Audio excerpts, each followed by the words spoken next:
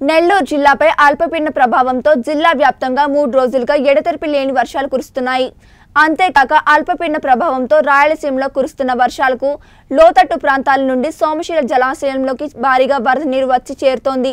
దీంతో జలాశయం అధికారులు జలాశయం నుండి ఐదు ఆరు ఏడు క్రస్ట్ గేట్లు ఎత్తి ముప్పై రెండు వేల ఆరు వందల వేల క్యూసెక్ల నీరు పెన్నా నదికి విడుదల చేశారు.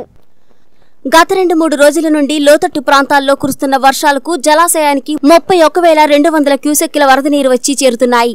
జలాశయం పూర్తి సామర్థ్యం డెబ్బై ఎనిమిది టీఎంసీలు కాగా ప్రస్తుతం జలాశయంలో డెబ్బై రెండు వేల ఎనిమిది వందల ఇరవై ఐదు టీఎంసీల నీరు నిల్వ ఉన్నాయి. పెన్నా నది పరివాహక ప్రాంతాల్లో ప్రజలు అప్రమత్తంగా ఉండాలని వరద ప్రవాహం పెరిగితే మరొక క్లస్టర్ గేట్ కూడా ఎత్తి నీటిని విడుదల చేసే అవకాశం ఉందని జలాశయం అధికారులు తెలియజేశారు.